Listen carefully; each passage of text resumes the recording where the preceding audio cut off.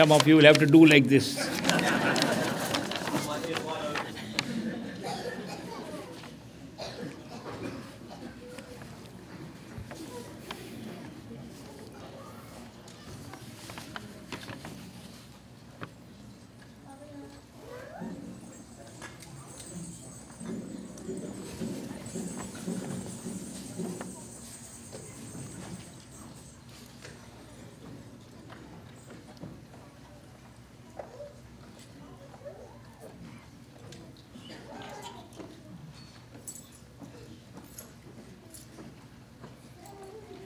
Welcome, welcome, friends, to this afternoon session of our holiday party. I'm very happy to see you all again. I today again I have another paper in my hand. That's made everybody excited. now I know what to use next time. It appears that what I said yesterday was live streamed. Yes. because I got lots of emails from around the world. They all talked about two things my red jacket and the joke. Nobody listened to anything else. So people ask me, Are you a master? I say, Do I look like one? Do I behave like one? And now I can say, Do I tell, does master tell jokes like these? No, I am not a master, I am a disciple of a perfect living master. And all I am doing is seva, service for him. It was his prediction, made in 1937. I was 11 years old. I remember standing next to him. He's talking to Dr. Julian Johnson, an American disciple. And he says, You have come here, Dr. Johnson to take spirituality to America. Your coming here will help people in America to go on a spiritual path. Spirituality will shift from here. There are times when things happen on a very large scale. Spirituality has been very much in the eastern part of the globe. If you cut a little picture from Far East, through India, through Africa, there are many mystics you can find. Middle East, right up to the Middle East, there's a stretch. The same belt is going to move over to the west, go to west, and be in a big way the United States of America. These are the words of Great Master. The axis of spirituality is going to shift. And he said, all they need is somebody who can explain these teachings in their words, which they understand. Then he wrote two or three letters also the same year, 1937. They are available. These letters, people have collected his letters to American disciples, and in that he also mentioned the same thing. So it appears that when I came here, Great Master had indicated that you will go to America when I was 11 years old. I did not know how I can ever go there. I got a fellowship when I was a school student. I got a fellowship for children to visit United States, school children to visit a small group was arranged by Harvard University. And Harvard University arranged it through a guy named Henry Kissinger. I still remember getting a letter from Henry Kissinger when I'm in school that you are selected to participate in a group visit to our country. But my dad told me you know, how can you go so far away? Nobody knows anything about United States, how far it is. So I suggest don't go. I wrote back a letter to my dad, which he kept for, for, for the rest of his life. I said, Dad, I am not going, in deference to your request that don't go. But it appears to me that I'll be going many times again. It just appears to me. And then after that, when I was 11, Great Master told me that you will be going. So that is why he has given me this great privilege to do seva for him. I believe there's nothing greater in the relationship with the master to be able to do seva for him. Any kind of seva. It doesn't matter what seva.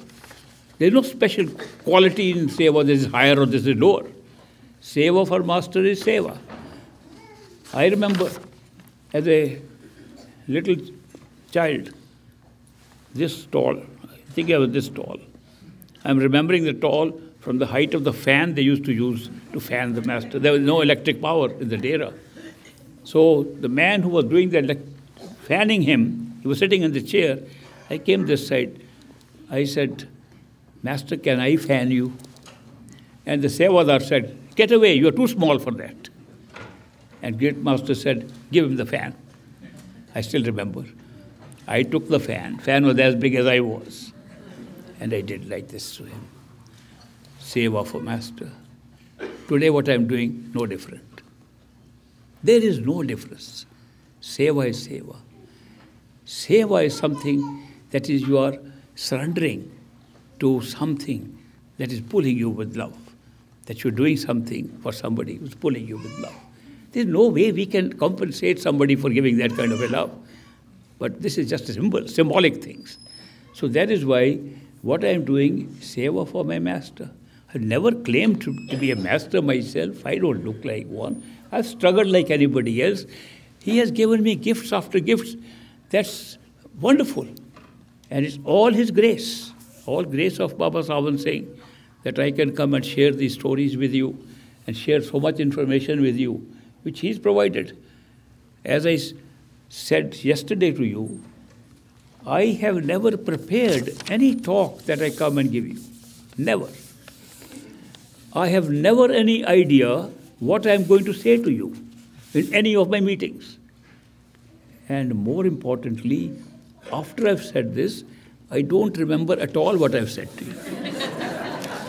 so it's such a strange feeling. It's feeling is great master doing it. I don't feel that.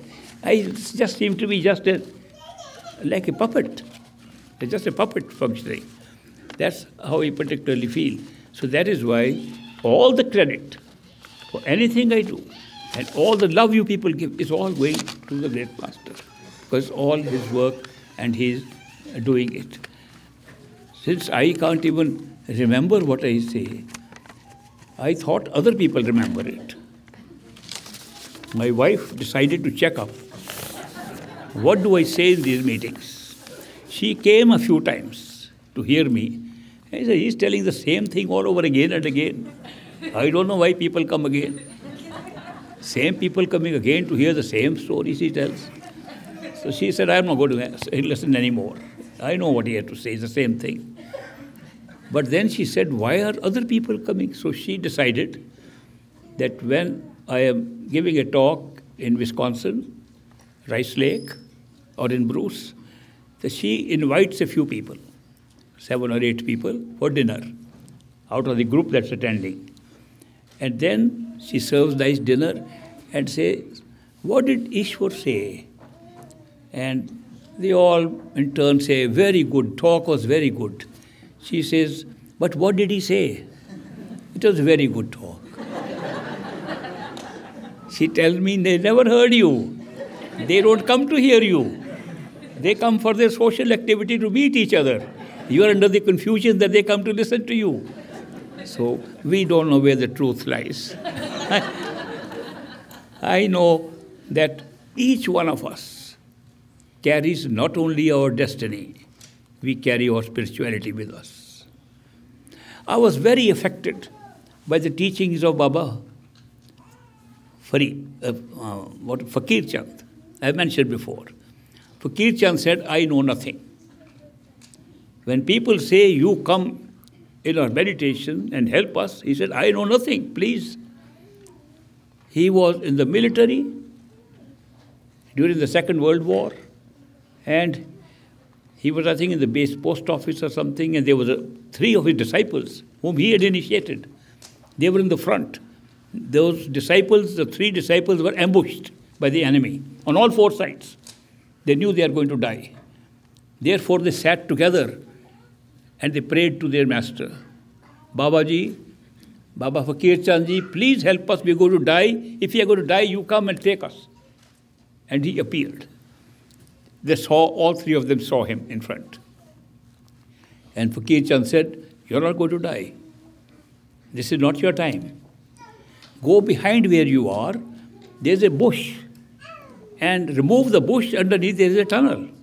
And that tunnel will come out behind the enemy lines and you'll come out. They went, looked, the bush was there, they removed the bush, they came out, and they were saved. They ran straight away to their master. Master, you saved us. And you appeared and saved us. Fakir Chand says, What are you talking about? I am myself so afraid some bomb might fall on me. I know nothing about it. But they, you appeared. We actually saw you. You told us how to get out. He said, I know nothing. It was all inside you, whatever happened. They said, No, no, we don't believe you. But anyway, this instance he himself tells in his discourses. I heard him say more than twice in his discourses, I know nothing. These people are getting experiences, it is their experience. Once, one of the disciples, Sant Tarachand, Saint Tarachand, who had attained sainthood and had been ordained to also initiate people by Fakir Chand, and he was in another town, a few hundred miles away. On one of the festive occasions, when Fakir Chand was going to speak, Saint Tarachand also came. So Saint Fakir Chand said, I'm very happy another saint has come. So he made him sit next to him on the dais, on the stage. After Fakir Chand spoke, I know nothing. These are all people's own experiences. The truth is inside. They all find from inside. These masters know nothing. Great master knew nothing. Christ knew nothing. Nanak knew nothing. Buddha knew nothing. He kept on telling that nobody knew nothing. It's all the seeker who finds everything inside. After he said all this, he said, I'm very happy that Saint Tarachand is also here. My old disciple now is saint. So I like him to say a few words.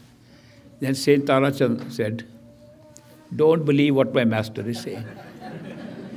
if he knew nothing, I would not spend the money to travel a few hundred miles to come and place my head at his feet. Everything I've got is from him. What he's trying to explain, he's not telling you. And Saint Tarachand explained a little more. He said what he is referring to is that in truth, we are one. The source is one. If the bodies have become two, source is one. When you say the master is helping us, the master is talking from that point, you are the same as that. Therefore, you are getting it yourself. He's explaining a very deep spiritual truth that essentially, if we are one, then how can you say somebody else helped you? You help yourself. That's the point he was making. A point he has made, Tarachand himself explained that he has heard this very explanation from his master Fakir Chand. Then I also found Fakir Chand also said these things, but they are not so widely reported. So a person has written his biography, and the title of the book is The Unknowing Saint. So the saint who says, I don't know anything. But then I discovered his son then said he had followed him and he came to America, and the son said, I know everything. So somebody said, Your dad said he knew nothing.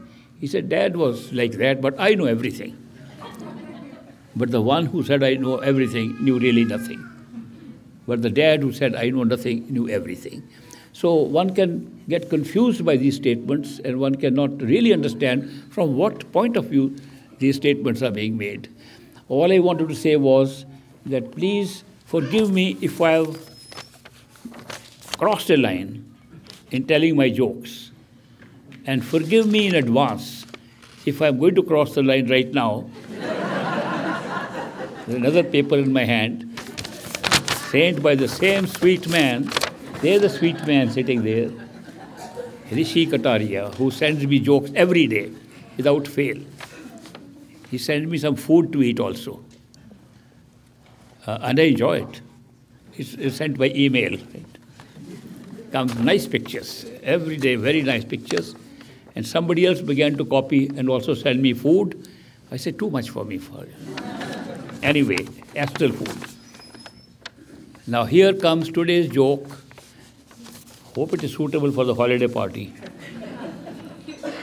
Bill and Marla decided that the only way to pull off a nice holiday Sunday afternoon quickie with their 10 year old son in the apartment was to send him out on the balcony and tell him to report on all the neighborhood activities.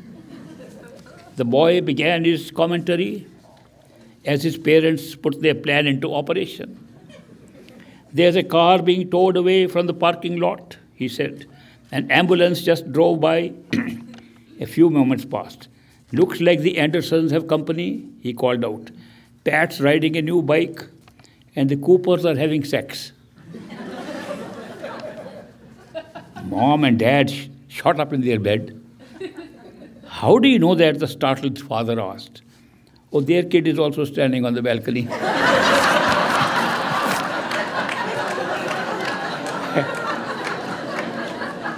right?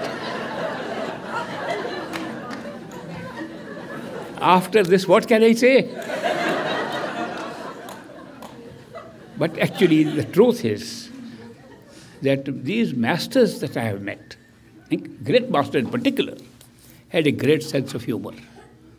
They enjoyed jokes, they told jokes, and we don't report the jokes so much because we are so much serious about the spiritual path. We take a lot of things very seriously, we should not be taken seriously. The spiritual path is one which should not be taken seriously. It is supposed to be going back home after a vacation. And we will go back home. If you are seeking to go back home, you will go back home. What is there to be taken seriously? Yes, you can take some smaller things seriously, which you are supposed to do to make a living, to do these things. But not a spiritual path is to go joyfully back home. When people return, they are laughing on the way and going back, at last time going back home. That's the kind of attitude one should have. Non serious laughter. We are going back our true home. So that's, uh, that's how it should be. But when you are very serious, then you get the seriousness can take you into something not realizing this is not real. Seriousness makes it even more real. So that is why take it lightly. It's a, it's a visit we are here. We'll go back. We'll all go back. And then it becomes much lighter. If something has come into your life, something concerning your living here, some problem, take it seriously, solve it. Then be happy. It's gone, solved if you have if you have got initiation by a perfect living master, you are a very lucky person, I must tell you. If you got initiation from a perfect living master, you can even leave the serious problems to your master. People don't realize how can that be. Of course, you can leave serious problem to your master. You can talk to the master, close your eyes, Master, this is a problem I have. Can you handle it? If he's a PLM, which means perfect living master, by the way, we learned it in America, PLM. If, if PLM says yes, and he will always say yes, otherwise not a PLM. He's a PLM, he'll say yes, then you relax. Wow, somebody more powerful knows more will take care of it. And you relax and watch, problem is taken care of. I'm telling you, at age 91, this has happened all my life. So it's not based upon hearsay or based upon a book, based upon experience. Perfect living masters take care of everything. We have to let them take care. Once a man came and told, Great Master, Master, if I have a serious problem, will you take care of me? He said, Depends. Depends on what? Depends on whether you let me. That we don't let masters take care of it. He says, No, Master doesn't know about it. I'll do this. Master, give me some help. I'll do it. You just help me and I'll do it. Say, okay, you do it then. If you're trying to do it, then do it. But if you want me to do it, then leave it to me. Don't play halfway games. But most of us play halfway games because our faith has not been built up to that point. We don't believe that Master can do that. Especially when we are living in a reality which is only physical. How can another person take care of our problem? Because we are all thinking of the physical reality here. We don't know the power which is working. It's not working at the physical level. It's working at a level where even destinies are being made. They can be altered by that power. Power of a perfect living master is immense, unmeasurable. It can change everything in a moment. So that is why we underestimate and we think as a human being, maybe he's a better human being, maybe more enlightened, but maybe not fully knowledgeable in my area of work. So how can he help me in this? These kind of thoughts come and we hold on to the problems to ourselves. But if you test it out, try it out, I tried many times. In the beginning, I said I should first test my master if he's real master or not. So I tested by simple means. I was young. I said I have to catch a train. I am late. If train comes late, master is real. If I miss the train, he's not real. As it happened, train came late. I said, Master, you passed. One item passed. Tested him on something else. If that happens, it happened. Master, you passed. When I tried 10 or 12 times, after that I met the master to tell him he passed. And he smiled and he said, Are you going to spe- spend the life testing or moving forward? Very big eye opener for me. That am I just going to be testing or move forward on my own journey for which he has come to me? So that is why there is a point up to which we test. When the test is favorably passed, we move forward. Now, when I meet people who are following this path and who are initiated by a perfect living master, I'm very pleased always to hear how an incident has happened in their life, one or more, where they're sure that the master helped them. They're absolutely sure. It could not have happened but for the master's intervention. That means master passed. Now, would you like to keep on doing the same thing or move forward? If you have got that kind of faith, faith has to be built up more by going and knowing more of the master inside, how he works, how he's connected with you, how he's taking care of you. That is can be done by in the initial stages by more meditation or more association with the physical form of the master. So the, the, there's a cutoff point when we stop just testing and have to move forward on our own spiritual journey. Now, in this spiritual journey, there are two ways of going. Like a slow train that stops at every station, or a fast train non-stop to destination. We, if we meditate, we can go through astral stage, beautiful experiences. Some people have been sitting there for a very long time, his, his disciples. They love it so much. And he said, doesn't matter, take your time. And then they step at the next station, the causal plane. Then they enjoy the beauty of creation that you can go back millions, billions of years, see the creation of the physical universes, astral universes, see destinies being made. It's a very interesting. You can spend many years there. A lifetime you can spend there. Then you can go next step when you discover you are a soul. This was all set up. This is all a created thing. The reality was soul. You can spend time there. Or then you can go to your true home. There are these stops on the way. Some people love these stops. Some people don't are interested in stops. I want to get just an offhand opinion from you. How many of you would like stops on the way? How many of you like non-stop express? Wow. Non-stop express is winning today. Very happy to hear that. Well, I am uh, glad that uh, we could have this holiday session. We heard some songs. I don't know during this break Anybody else prepared to entertain us or no? What happened? Yeah, over there. Okay. We have something coming up. Thank you.